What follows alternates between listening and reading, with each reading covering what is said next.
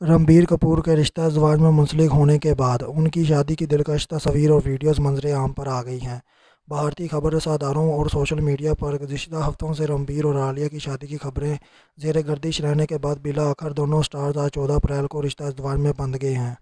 दोनों की शादी के तस्करे ताहल जदे ज़बान जदे आम हैं। अब अदाकारा ने शादी की तस्वीर, समाजी रबते की फ़ोटो और वीडियो शेयरिंग ऐप इंस्टाग्राम पर शेयर कर दी हैं। रणबीर कपूर ने सरहरे रंग की शेरवानी जबकि आलिया भट्ट ने दिलकश लहंगा जेबतन किया है।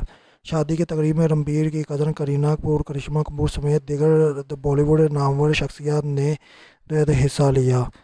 इस शादी में थीम गोल्ड वाइट रखी गई थी और तकरीबन तमाम मेहमानों ने इन्हीं ही रंगों का जेबतन किए हुए थे। शादी की तकरीब जोड़े के वास्तु घर बांद्रा में मनद हुई, जिसमें सिर्फ़ अहल खाना और करीबी दोस्तों को ही मदू किया गया था। वो इसमें सिर्फ़ पचास अफराद ने ही शिरकत की थी।